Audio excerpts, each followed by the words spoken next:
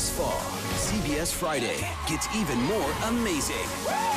Meet the Merry Dentists, Our goal is to be the winningest team that's ever come on The Amazing Race. the dating pro wrestlers, We are intimidating inside the ring and outside of the ring. and the newlyweds. Life with one arm for me is normal. I just go for it.